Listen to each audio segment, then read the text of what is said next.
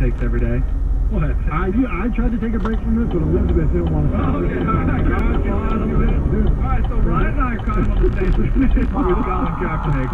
Um, we think it's too early to jump to the blackballing thing, like, hey, he's being blackmailed. I think it, a lot of it comes down to supply and demand. There are only a few teams that need a starting quarterback. That's what he wants. But from a football pers- perspective, what type of year did he have last year? Like, watching the film, is Right. there value there where a team would say, you know what, we think he could be our starter? Is he better than guys that are on rosters now? Yes. Um, would he play for the con? Would he excel? Advance Auto Parts. Let's get you back on the road. Being a Benz team member, go to speedperks.com. Technology shift, policy changes, new regulations. When it comes to investing, things move quickly, so you need a partner you can trust. People are so it's why we fucking stupid. services and fees, measure progress around your life and goals, and offer access to resources whenever and